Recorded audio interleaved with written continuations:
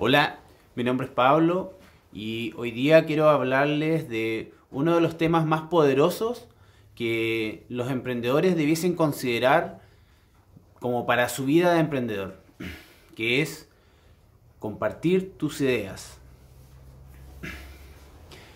Todo se inicia con un pensamiento. A un pensamiento es a lo que tú le vas a poner energía, recursos, que vas a poder desarrollar para poder llevar adelante una idea, para poder lograr eso que tú esperas, poder desarrollar un negocio, para poder vivir de lo que a ti te gusta hacer. Pero si tú no compartes tus ideas, la verdad es que no vas a llegar muy lejos. Porque tú necesitas de las ideas y del aporte de otras personas para poder desarrollar mucho, de, mucho mejor forma y más rápidamente tu propia idea y tu propio negocio. Yo quiero contarles un caso eh, increíble que a mí me pasó hace algunos años atrás. Yo cuando volví de la universidad eh, a Puerto Montt, llegué con la idea de implementar en Puerto Montt algo que ya estaba empezando a funcionar en Valdivia, que es donde yo había estudiado que era un sistema de transporte marítimo con embarcaciones con motores eléctricos y paneles solares, que, en su, que, que para efectos le voy a decir taxi acuático. y a, quienes primero eh, les comenté la idea fue al sindicato de fleteros de Isla Tenglo, que son personas que por más de 50 años han movilizado gente entre Puerto Montt y la isla Tenglo que está justo frente a la ciudad. Entonces yo les planteé y les dije que si habían considerado en algún momento desarrollar un sistema de embarcaciones modernas que funcionen con energía sustentable. Y eh, Heriberto Teuquil, que en su momento era el presidente del sindicato, me dijo que no, pero que le parecía súper interesante y que podíamos desarrollarlo yo les, les, les ofrecía a título gratuito, digamos, eh, toda la, parte técnica para poder levantar el proyecto y presentarlo a, donde sea necesario. Em, pero yo estaba recién titulado y necesitaba trabajo y el primer trabajo que tuve fue en Puerto Aysén, como 700 kilómetros más al sur de Puerto Montt. Así que me fui y la verdad es que intenté em, hacer un seguimiento a la idea de este proyecto, pero no pude, así que lo deseché de alguna forma. ¿Qué es lo que pasó? Que esto fue el 2012. El 2015, en marzo del 2015, eh, yo me acerqué a la municipalidad porque ellos estaban iniciando el proyecto de un taxi acuático, de una embarcación eh, con propulsión eléctrica y paneles solares.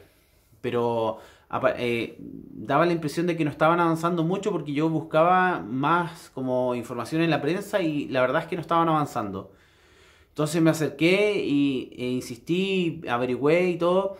Y en algún punto a mí la municipalidad de Puerto Montt me contrató para poder llevar el proyecto adelante.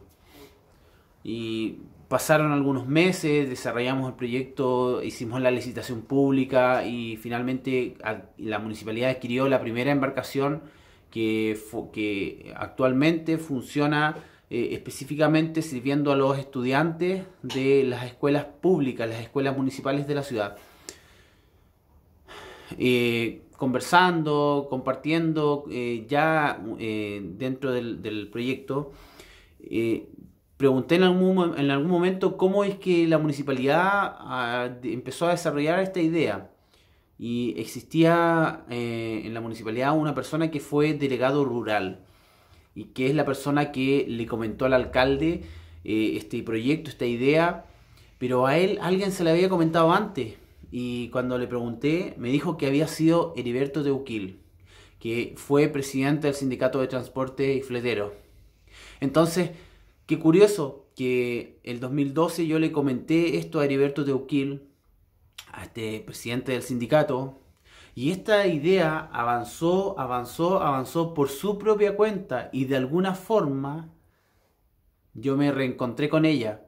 Y de alguna forma yo pude en un momento en que necesitaba trabajo ingresar a trabajar en la municipalidad a desarrollar mi propia idea. Y es que eso es lo que ocurre cuando uno comparte, eso es lo que ocurre cuando uno cuenta, eso es cuando uno ocurre cuando uno se desprende, cuando uno se libera de esta necesidad de ser el dueño de una idea. Porque una idea, o sea, hay aquí una discusión. Algunas personas dicen que las ideas no valen nada, que lo que vale es el desarrollo. Pero hace poquito una persona que conozco, eh, que se llama Fabián, que trabaja en, en Cogo, em, él decía, no, eso no es real, las ideas sí valen, sí valen en la medida que tú puedas desarrollarlas, puedas encauzarlas, tú puedes darle forma. Y también valen cuando tú las compartes, porque tú nunca sabes cómo son los caminos de la vida. Y bueno, yo llevo casi cuatro años trabajando en la municipalidad. Entonces, eh, yo creo, y como les decía al principio, que la herramienta más importante que tiene un emprendedor es la capacidad de comunicar, es la capacidad de conectarse con otras personas que están en la misma parada, que están buscando, están buscando alternativas, oportunidades, están buscando también enriquecer sus propias ideas. Entonces, o sea, si tú tienes una idea, sal y cuéntala. Cuenta, busca las personas adecuadas a quienes contarles. Si tu idea es en, en, el área de la cocina, busca a gente que esté trabajando con el tema de la alimentación. Si tu área es tecnología, busca a la gente que trabaja en tecnología, en comunicaciones. Si tu área es la ingeniería, busca a más ingenieros o ingenieras. O sea, acércate a quienes te van a hacer que van a hacer que tu idea sea más y mejor. Así que eso, si les parece, escriban al comentario acá abajito eh, o pueden escribirme al correo pablo.yost.cl y los invito a visitar la página descubreemprende.cl donde ya voy a iniciar un proceso de actualización para que el contenido esté más ordenado.